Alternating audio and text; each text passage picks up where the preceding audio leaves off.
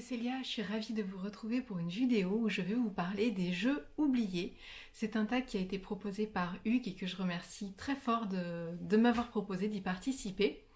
Alors il s'agit de, des jeux, euh, des tarots, des oracles, qu'on a tendance à laisser dans son, euh, dans son placard, à ne, pas, à ne pas prendre ou à ne pas vous présenter aussi sur, sur nos chaînes.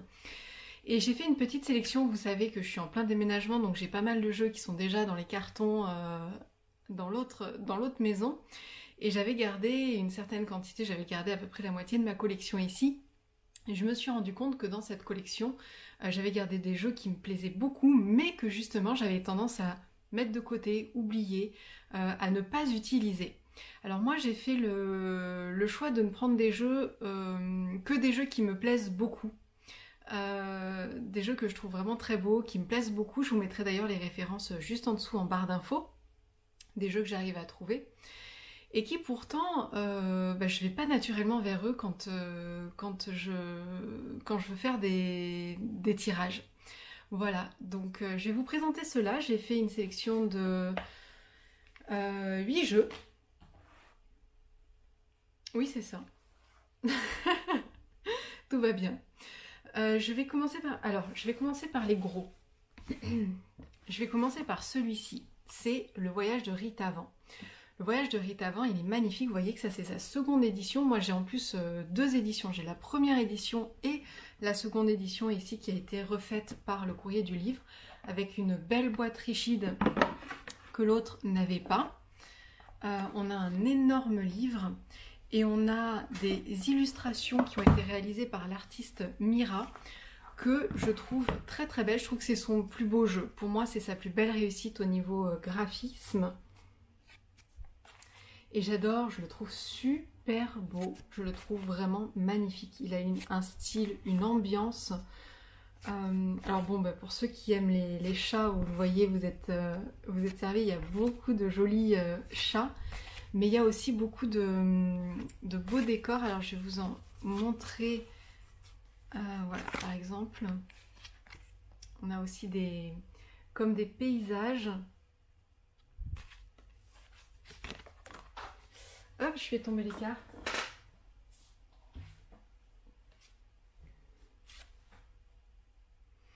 Et en fait, ce qui me bloque dans ce jeu, pourquoi je vais pas naturellement vers lui Parce qu'en fait, j'ai jamais réussi à m'approprier le livret. C'est assez complexe, il faut passer euh, vraiment du temps avec ce jeu. Euh, il faut passer beaucoup de, temps en fait pour comprendre le système du jeu. Et en fait, c'est un temps que j'ai jamais, euh, jamais pris pour vraiment découvrir le jeu, pour faire vraiment des tirages avec lui. Voilà, c'est dommage. ah, j'adore celle-ci, elle est magnifique.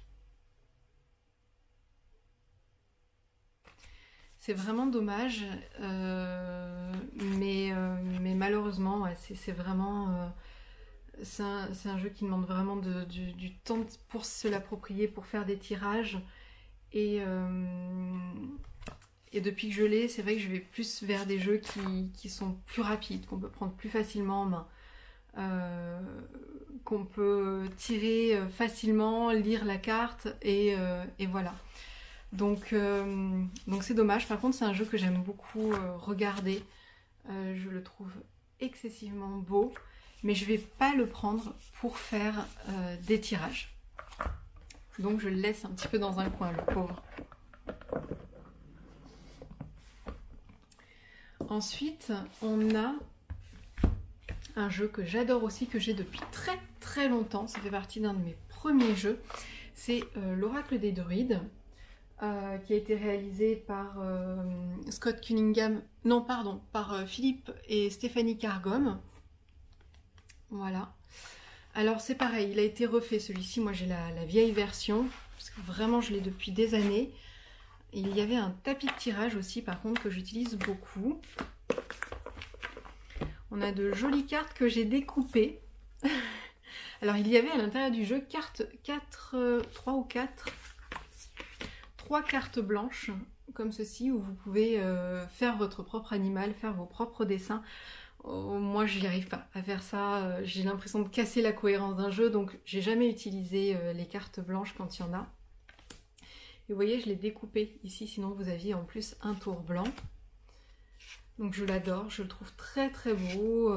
Je l'ai beaucoup utilisé autrefois, c'est vraiment un des jeux qui m'a beaucoup cette carte est beaucoup revenue dans mes tirages d'ailleurs. Et puis euh, au fil du temps, c'est vrai que je l'ai relégué un petit peu dans le fond de mon étagère et, et je l'utilise plus.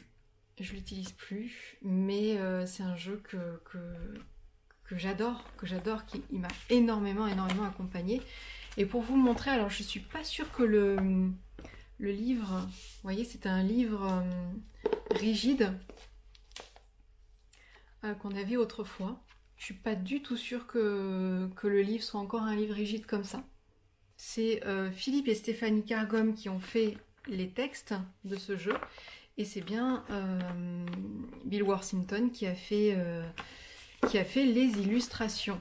Un jeu aussi que j'adore, je l'ai beaucoup utilisé quand je l'ai reçu, c'est le Itching.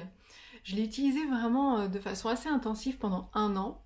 Et puis, euh, ça fait à peu près deux ans que je l'utilise plus trop, que je le laisse dans le fond de mon, armoire. Alors que pourtant, ce jeu est génial. je vous mets, euh, celui-ci, je suis sûre de vous trouver la référence, donc je vous la mets en barre d'infos. Il a été édité par les éditions Guy et Daniel, où il arrive avec un, un livret. Et j'ai fait des tirages vraiment hyper pertinents avec. Hein. En plus, j'aime beaucoup, beaucoup euh, le style graphique comme ça. Euh. Je suis moins fan du dos, mais peu importe. J'adore les illustrations euh, comme ça. je les trouve vraiment très, très sympas. À travers un coup de pinceau, il y a beaucoup de choses qui sont exprimées. Et celui-ci, c'est aussi un système qu'il faut un petit peu travailler, mais il reste très très facilement abordable. C'est un jeu qui est vraiment euh, très abordable, qu'on peut utiliser facilement. On n'a pas... Euh, voilà, c'est... Il est, très chouette. Très chouette, très beau, très original. Et pourtant, il reste depuis deux ans dans le fond de mon armoire. alors que pourtant je l'ai vraiment beaucoup utilisé. Hein.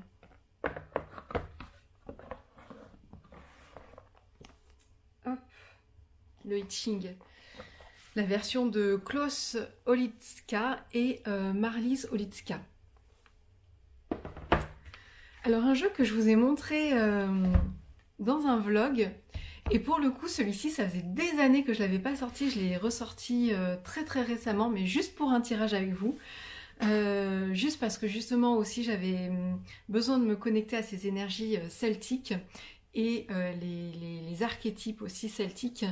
Et c'est donc le tarot celtique. Alors celui-ci, je pense pas que je puisse vous le retrouver et vous le mettre en barre d'infos parce qu'il est vraiment très très vieux. D'ailleurs le pauvre, il, a pris des chocs un petit peu de partout. La boîte ressemble plus trop à rien. C'est un jeu qui a été réalisé par Laura Touane vous avez des petites créatures mythologiques, euh, des petites créatures celtiques. Vous avez des représentations des dieux et des déesses aussi celtiques pour les arcanes majeures.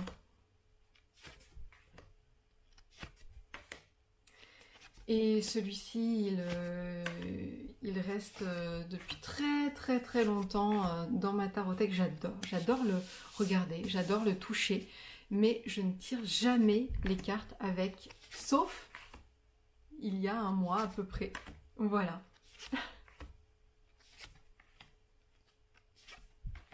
Mais je l'aime beaucoup. Il est très original. Voilà, vous aviez un, livret. Alors, ça fait partie de mes premiers tarots. Et euh, je crois que. Euh, ça doit être mon troisième tarot. Ça doit être le troisième que j'ai acheté. Et j'en avais très très peu, hein. j'en avais vraiment une toute minuscule collection, j'avais que quelques jeux et quelques oracles. Et j'avais du mal à le comprendre celui-ci. C'est pour ça que je l'ai très peu utilisé. Au début, je comprenais pas les cartes à l'endroit, à l'envers, pourquoi euh, j'avais euh, des messages à l'endroit et à l'envers. C'était pas vraiment bien expliqué dans le livret. À l'époque, ah bah, l'époque j'avais 14-15 ans.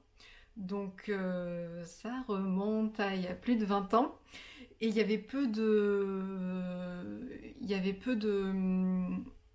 contenu accessible, des livres ou bien des, des vidéos YouTube, ça n'existait pas, pour comprendre en plus le système des tarots. Donc c'est pour ça que finalement je l'ai, l'ai pas beaucoup utilisé parce que je comprenais jamais s'il fallait que je prenne la carte à l'endroit et à l'envers. Et du coup, comme vous avez des mots-clés ici à l'endroit et des mots-clés de l'autre côté à l'envers, je ne savais pas quelle interprétation prendre. Je l'ai beaucoup regardé. Euh, j'ai tiré un petit peu les cartes avec en prenant ma propre interprétation. Euh, mais du coup, j'ai pas vraiment réussi à créer une dynamique de tirage avec lui. Donc, euh, donc voilà, le pauvre, il reste un petit peu dans son coin. Et pourtant, je l'adore. Pourtant, j'adore, j'adore sa, connexion au petit peuple. Et si je l'utilisais aujourd'hui, je j'aurais pas du tout de mal en plus. Je pourrais vraiment le prendre et l'utiliser, mais voilà, il reste dans le fond de ma bibliothèque. Alors, un autre tarot, c'est le China Tarot, que je trouve très très beau. Et celui-là, je, sais pourquoi je l'utilise pas. Euh, c'est parce que finalement, les illustrations, euh, c'est un tarot de Marseille. Euh, vous avez les, les arcanes mineurs qui ne sont pas illustrés. Et pour le coup, quand j'ai besoin de prendre un tarot de Marseille, ben, je vais vers mon tarot de Marseille traditionnel. Voilà, de, base en fait. ce qui fait que ce qui fait que bah, c'est dommage, je, je, vais pas, je vais pas vers un autre jeu. Je vais vers celui que je connais bien. Ou j'aime bien le tarot noir aussi. Des fois, je prends le tarot noir. Mais c'est vrai que typé Marseille, du coup, je vais moins l'utiliser. Je vous montre quelques arcanes majeures aussi parce que je les trouve très belles. La tour, elle est magnifique. Ici, on a la mort.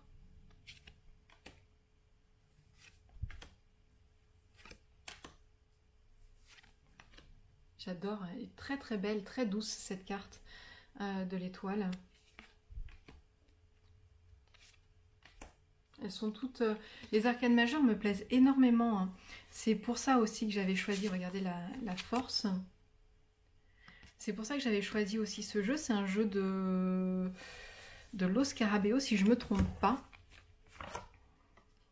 Oui, c'est un jeu de, de Los Carabeo. Voilà, mais pour ceux qui aiment utiliser le, système euh, Marseille, si vous l'utilisez beaucoup, si vous aimez avoir plusieurs jeux euh, sur ce type Marseille, eh bien, euh, ce jeu pourrait vous plaire, du coup. Les cartes glissent super bien.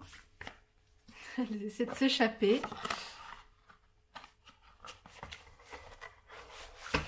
Voilà. Un autre jeu de Los Carabeo que j'utilise très peu mais que j'aime beaucoup regarder, enfin que j'utilise même pas du tout finalement, c'est le romantique tarot. Il a des interprétations qui sont un petit peu différentes de, des interprétations traditionnelles du, du Rider. C'est un jeu qu'on m'a offert, que mon cher et tendre m'a offert. Et en fait, je le trouve euh, très sympa à utiliser en tirage psychologique. Alors, je vous mets les cartes dans le bon sens. Hop. Je l'ai un petit peu utilisé quand je l'ai reçu. Et puis, euh, et puis en fait, après, je l'ai mis de côté aussi, pareil. Pas de, pas de raison valable pour celui-là, parce que je le trouve très chouette. Euh, je l'ai pas mal utilisé en tirage psychologique, comme je vous le disais. Parce qu'on a des scènes de vie, on a des, personnages, on a des scènes de vie, donc euh, c'est c'est pas mal en... Alors ça c'est la carte de présentation, en tirage psychologique.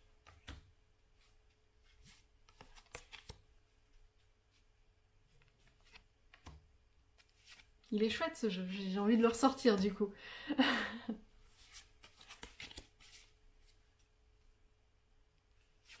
J'aime beaucoup les illustrations. Le dos des cartes est très joli aussi. Ah, ce jeu, il me plaît beaucoup, beaucoup. J'aime beaucoup de choses dans ce jeu. J'aime le fait de pouvoir l'utiliser et en tarot et euh, en oracle, en tirage psychologique. J'aime les illustrations. Euh, il, est, il est très chouette.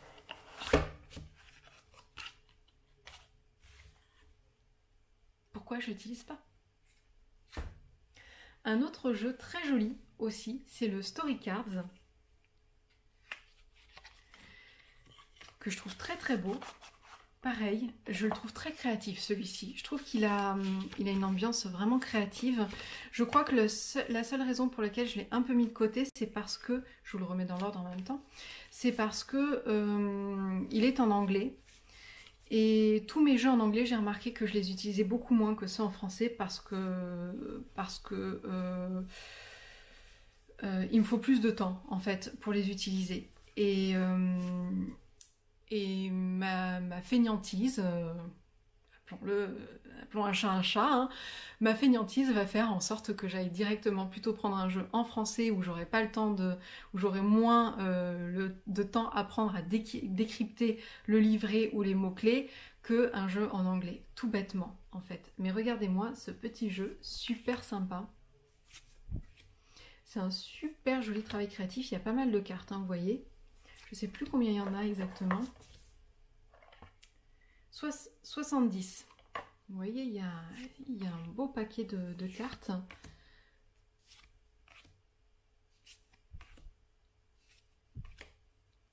Il y joue tout plein. Et puis il arrive avec un petit livret. Euh, avec euh, voilà, c'est un petit livret, vous voyez, avec quelques une phrase clé, quelques mots clés en fait. Hein. Donc c'est pas non plus la, mer à boire, mais euh, voilà, je vais naturellement aller vers un, autre jeu et du coup laisser celui-ci que je trouve pourtant euh, très très beau euh, bah, dans un coin. Alors, un autre jeu, c'est le Fontaine Tarot. Alors je sais que je ne suis pas la seule dans ce cas-là, parce que j'en ai pas mal parlé autour de moi de ce, jeu, qui est le, coffret est magnifique. Hein. Le coffret est super bien fait. Il est magnifique. Ce côté holographique là qui ressort bien. Euh, on a un petit livret qui l'accompagne.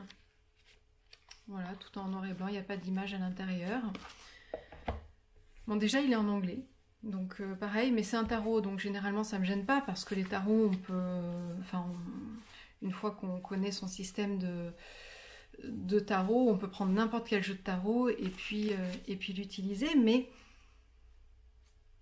alors j'avais craqué pour cette carte de l'impératrice que je trouve magnifique. Mais il y a quelque chose de, de rigide dans ce, dans ce jeu, de, de froid, de, de, de statique, je trouve. Et pourtant, il y a beaucoup de force parce qu'il y a des lignes de force très très présentes dans le dessin. Il y a quelque chose de très graphique. Euh, et vous voyez que c'est toujours un travail sur les lignes, sur la composition des lignes. Euh, je, trouve que c'est un travail artistique magnifique, le 6. Regardez-moi cette dynamique qu'on retrouve là dans le, dans le 6, qui est très forte.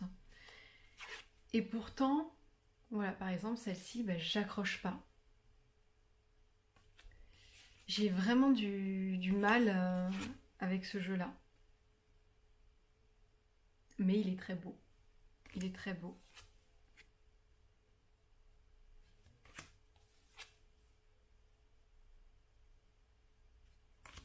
Voilà, donc le Fontaine Tarot.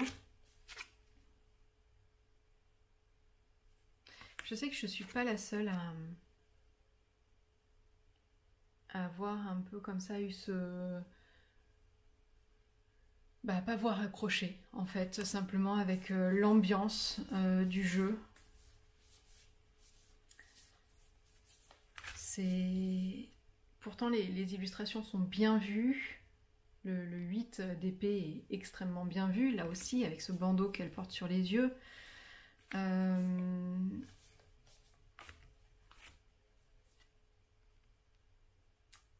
mais j'accroche pas. J'accroche pas, donc du coup, bah, je l'utilise pas.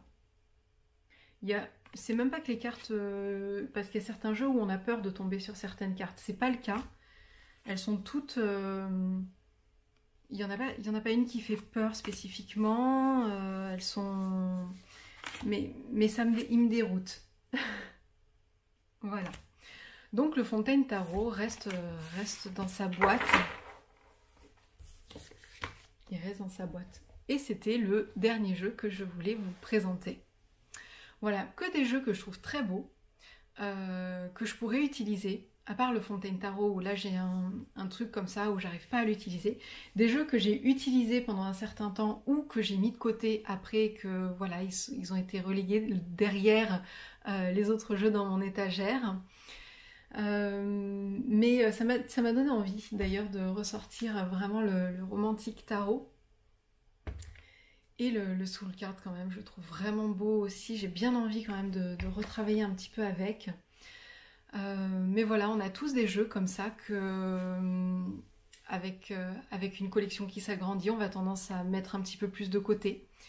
C'est pas qu'on les aime moins, c'est simplement que des fois l'énergie du moment est pas là et puis on laisse passer, on laisse passer le temps et finalement il se retrouve derrière l'étagère. Euh, il y en a vraiment aussi avec lesquels bah, finalement on pensait accrocher puis on n'accroche pas et, euh, euh, mais on a aussi peut-être envie de les garder parce que les illustrations, moi pour le Fontaine Tarot, les illustrations me parlent, me plaisent, je les trouve pertinentes quand si je devais analyser un tarot, quand je vous ai fait les formations tarot, par exemple, j'avais sorti tous mes jeux et des fois je vous montre des cartes aussi de ce jeu parce que les illustrations sont vraiment pertinentes, sont intéressantes. Mais à l'utilisation, ben je l'utilise pas, j'accroche pas avec. Voilà. Donc euh, voilà, à chacun son feeling, à chacun sa, sensibilité avec ses jeux. Et puis, euh, et puis ben voilà, c'est l'occasion pour moi d'en ressortir d'autres. Je vous embrasse très fort, je remercie encore une fois toutes les personnes qui ont participé à ce challenge. Et puis euh, merci à Hugues de, de m'avoir proposé de le faire. A très bientôt pour d'autres vidéos. Prenez bien soin de vous.